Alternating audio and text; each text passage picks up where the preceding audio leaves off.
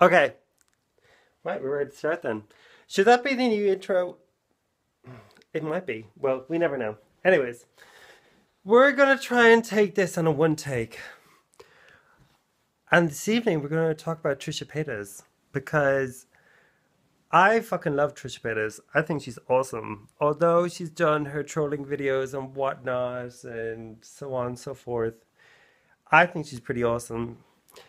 Uh, makeup wise, I think she does very well. I think in the funny thing is in I was actually watching some of her previous videos last night, and um, and all, in her last videos, makeup might be a bit heavy-handed, but these days, I don't know. I think she looks pretty flawless.